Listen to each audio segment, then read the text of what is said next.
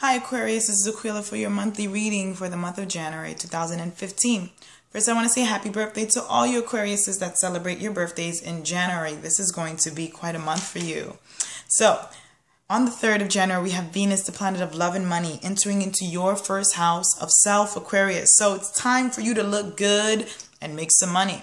This is going to be really good. We have Mercury, the planet of communication, moving into your first house of self as well, Aquarius. So this is also going to be very good because that means your communication is going to be definitely on point as the beginning of the year sets off. Now we have the first card for you, Aquarius, is flowering.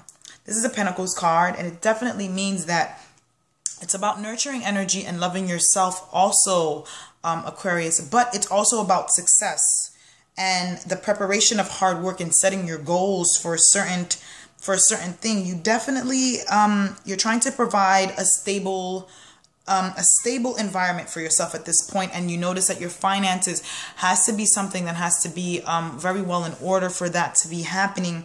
You very it's loving supporting and nurturing energy but it's also um, thinking independently and um, being self assured in the work that you're going to be doing to provide for yourself. It's also very home energy.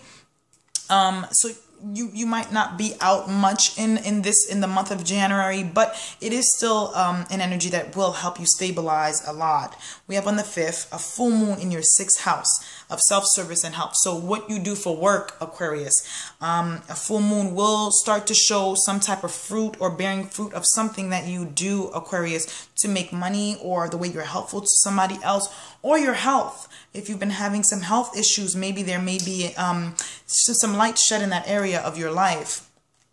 The second card I got is moment to moment.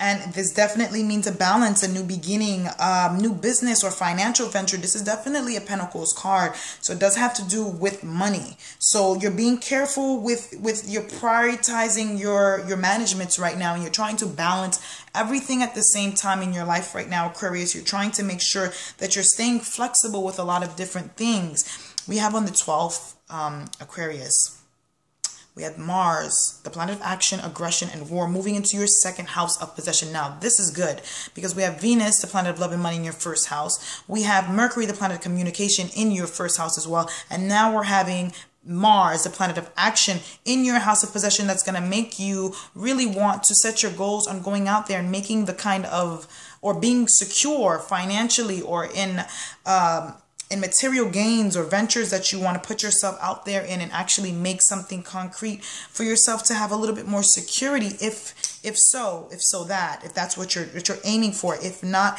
there is definitely going to be more of a con you want a concrete energy maybe at, at home. Um you want your home life to be more stable. We have on the 20th a new moon in your first house of self. Wow. Now that's amazing because this is definitely going to be a change. Your solar year is approaching with the sun about to enter into your sign.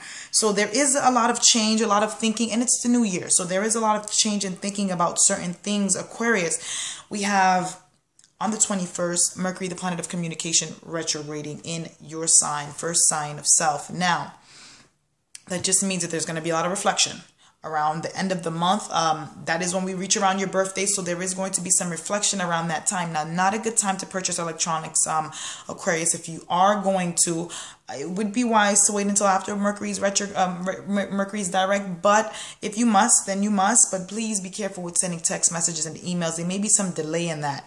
Also, I want to point out, Aquarius, remember last year, Saturn moved into your 12th house of um, aspirations, friends, your hopes, and your wishes. It's going to be disciplining you with that um, for the next two and a half years. So please keep that in mind as well. The last uh, thing we have happening is Venus. The planet of love and money is going into your second house of possessions at the end of the month.